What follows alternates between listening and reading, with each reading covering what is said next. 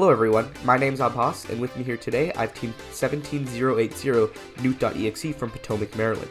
They were recently the winning alliance first selected at the Chesapeake Championship, giving them a ticket to the Power Play Houston World Championship, which they'll be competing at in April. They have a fantastic intake, deposit, transfer sequence, and more, and we're going to take a look at all of that coming up on First Updates Now. This video on First Updates Now is made possible by viewers like you and also the following sponsors. SOLIDWORKS is free for first teams. Over 80% of US engineering schools and 370,000 plus companies use SOLIDWORKS to design great products. SOLIDWORKS can help you design a great robot on desktop or on the cloud. Go to solidworks.com slash first to register your team. Check out our all new FTC content coming to Fun's YouTube, including new hosts from the FTC community. We'll have resource guides, top 10 moments, behind the bots interviews, and walkthroughs to help your FTC team improve at youtube.com slash first updates now. Okay, guys, let's start with your intake. I saw it going through cones all day on, at Chesapeake Champs, and it's just so fast and fluid. Let's first start with your extension specifically, and then we'll go on to the rest of it. So, can you give me like an overview of the hardware? Sure. So our intake sits on a pair, pair of linear slides, which actually extend up to over four feet, allowing us to stay still and cycle on many junctions, uh, as well as an arm at the front that allows us to extend about like another extra foot for a bit of extra reach. Yeah, and so which linear slides are you guys using for your intake? Have you used these before, or was it just sort of like, yeah, we'll give these ones a go? So for our uh, linear slides, we're using Misumi SAR 230s, and we found them to be reliable in our past, partic uh, particularly during Freight Frenzy where we used them on our robot. And yeah. Yeah, and so how are you powering your intake? I think I see two motors up at the front of the robot, um, but you know, you guys can tell us a little bit about the ratios you're running and the speeds, and if you've had any problems with it. Sure. So uh, in order to power intake, we're using two Yellow Jacket uh, 1,150 RPM motors. And we found that since uh, our intake slides aren't going to have to be fighting against gravity, uh, we could go pick a faster motor. And we found that these motors uh, gave us an excellent balance of speed and power. And in order to, and also these motors have a pair of a 3D printed, have a set of 3D printed pulleys on them uh, which allow us to uh, take in and ex- put out string at the same rate. Yeah, and so was there any reason that you guys didn't go for like the goBILDA pulleys that that you know that just goBILDA sells in a standard to use, uh, like with their motors and stuff? Like, why did you decide to go with a three D printed spool? Uh, we mostly decided to go for a 3D printed spool because the goBILDA pulleys wouldn't fit our robot with the configuration that we wanted. Okay. Gotcha. And so, you know, looking forward to the World Championship, are there any changes you want to make specifically to your intake extension? Or, like, is that part fast enough for your cycles uh, and your teleop and autonomous and everything? Uh, generally, we feel that the extension for our, our robot is fast enough for our purposes. Uh, but if we feel that we need even more speed, we have an option to go even faster. Okay. Cool. And so, you know, jumping into your arm uh, now, walk me through that, give me an overview of it, and then we'll also talk about the software and how that works with like the whole intake. Cool. Sure. Uh, so our arm is a uh, custom machined uh, driven four bar. So starting off, the arm is powered by a ser servo geared to its base. And what this lets us do is it lets us accurately control its uh, height so we can intake both from the stack and from the ground and also for our transfer. And also a chain running alongside it connecting to the end allows us to hold the uh, intake claw at the same level no matter where the uh, intake arm uh, is positioned. And it's connected to a servo as well, which means that we can pivot it forward and backwards which is especially useful during our transfer when it needs to uh, pivot backwards in order to make sure that securely fits. Yeah, and so I think I see some herringbone gears for your uh, intake arm. Is that true, or are those just like normal spur gears? Yeah. Uh, so we decided to 3D print our own herringbone gears for our arm. Uh, we chose this because that way we could, uh, with 3D printed gears, we can finely tune what ratios that we want and uh, herringbone gears a lot uh, don't slip nearly as often as just straight spur gears, so which is why we went for that option. And so, talking about your claw, definitely doesn't look like a standard like open source claw or anything like that. So, walk me through that and how it's changed throughout the season. Sure. So, uh, our for our claw design, there are two parts to each claw.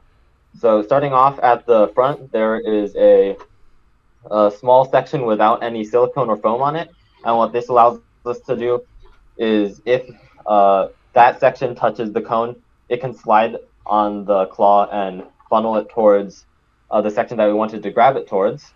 And we also have a layer of silicone and uh, some foam towards the uh, more towards the center of the claw, and this allows us for a secure grip. And we have a layer of foam on there because what this lets us do is it lets uh, the silicone wrap around uh, the cone, giving us a more secure grip.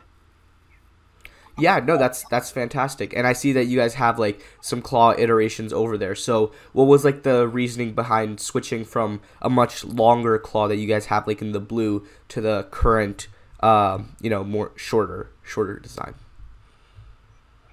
So, uh, this blue design was actually the first design that we made this season. And uh, while it did grab the cone sometimes, uh, what happened is uh, because they were so long, uh, if the cone grabbed towards the edge, sorry, towards the outside of the claw, uh, the cone would often slip and fail to transfer. We drop the cone, uh, mm-hmm. which led us to a design with uh, small pincers at the front, which would allow us to funnel in the cones, but also making sure that the part that was actually grabbing the cone was much closer to the pivot, giving it more force. Yeah, that that makes a ton of sense. And so before we go on to your transfer and deposit, let's talk a little bit about the software. I see like a, a rev color distance sensor right below your claw, um, and I'm sure you guys are running encoders on your motors. So why don't you talk to me a little bit about the automations you guys have in your intake and how you use sensors to um, to do those? Yeah, exactly. So um, for these motors, we use um, either set power directly for going in and out, or set go into position when we know how far we are and how far we need to go. And in autonomous, what we do is we extend out um, at uh, partial power, and then once we get, I think once we get close, we slow down, and then once we're at some distance, we detect the cone, and um, then we we so we when we see how far it is, and then we calculate how many more ticks we need to move and tell the motors to move that many ticks more. Yeah, no, that's that's really cool. And so, you know, talking about your transfer now, before you guys explain it, can we see your transfer process? Um, and then you guys can talk about like how you were able to get it so smooth and so fast. All right. Wow. Yeah, that's that's fantastic. And so can you guys give us an overview of your transfer process, how you got it to work so well and what were some challenges you had with it? Sure. So starting off after the robot uh, it grabs a cone, first it needs to raise the cone in order to make sure that it isn't sliding across the ground and might hit any junctions or anything else that might cause the robot to lose its grip. Uh, afterwards, a robot completely retracts the slides in order to prepare it to transfer.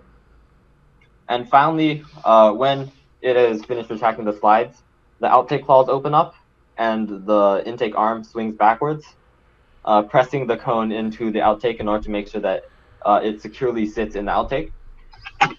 And after uh, it's done with that step, there is a color sensor in the outtake that detects when there is a when the cone is in a proper position to finish uh, transferring. And when the color sensor says, "Okay, you can finish," uh, this the intake claw lets go of the cone and the outtake claw grabs onto it, giving us a secure grip. Wow. Yeah. And so, like, what was the most difficult part of your guys' transfer process, and how were you able to solve it? So this transfer is a fairly convoluted transfer, especially for this season. And one of the main issues that we uh, encountered when making this transfer was tuning what position the outtake needed to sit. Because even sometimes, even if we were off by about five millimeters in any direction, uh, the transfer would fail. And if you see here, we actually made a several iterations of the mounting. So, can you move to medium? Yeah. Uh, so for this Lexan part right here, uh, we made several iterations of that, mostly just tuning uh, specific positions. And after like four or five iterations, we were finally able to dial that position in in order to get a successful transfer. every time. hmm Yeah. And in tuning, uh, one thing on the software side that helped a lot was um, using Roadrunner, sorry, FTC dashboard, where we can um, put the code into uh, variables that, and then we can put the position to one place in the code, and then we can also um, even modify them from a uh, another computer connected by Wi-Fi for testing, which makes iteration much much faster. Yeah, no, that that's fantastic. And so I want to talk about your vertical lift first for your deposit. I mean, we can see that you guys have a ton of experience with linear slides, you know, looking at your intake. So it must have been a conscious decision to go with a double reverse four bar instead of like a linear extension for your deposit. So what was the reasoning behind that? And, you know, looking forward for Houston, is that something you're planning on changing or are you very happy with the performance you have there?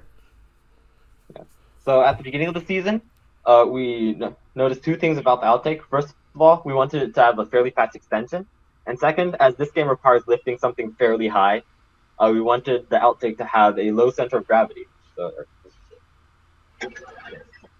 so that's why I went for a double four bar because uh, double four bars are fairly fast and as well as light.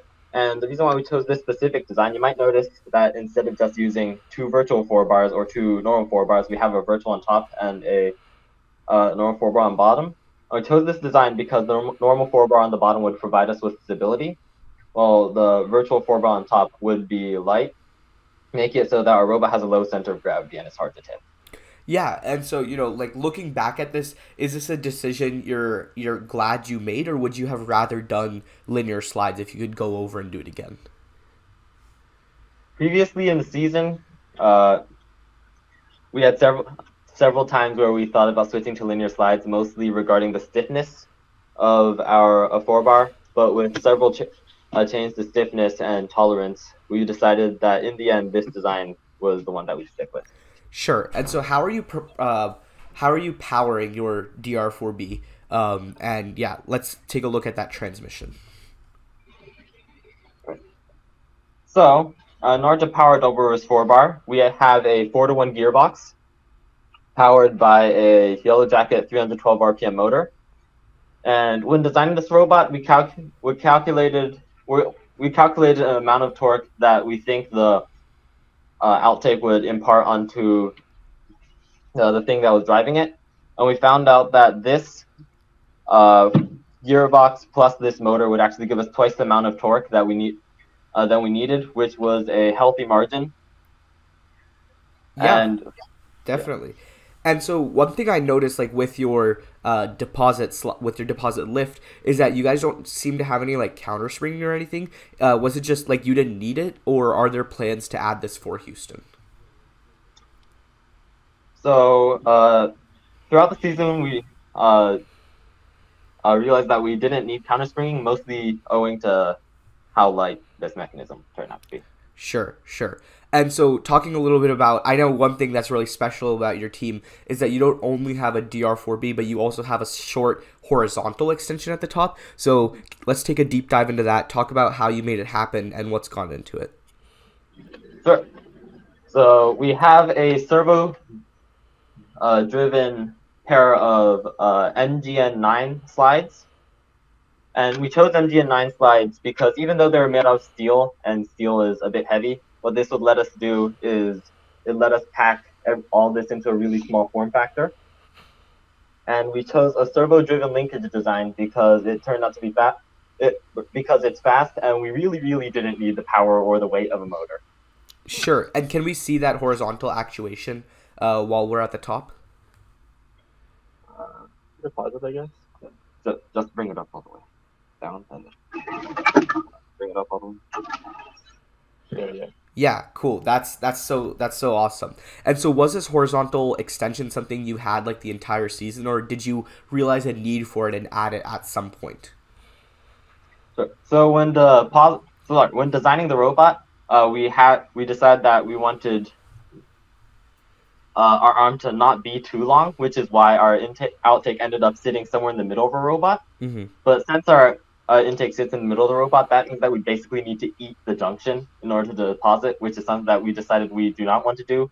as it could possibly incur many penalties, hmm which is why we ended up going with a small horizontal extension to make sure that our uh, depositing would actually be outside the of the robot. Also, this allows us to stay in place while cycling because we can have the junction here and we can just go on top of it and then pull down and then retract back.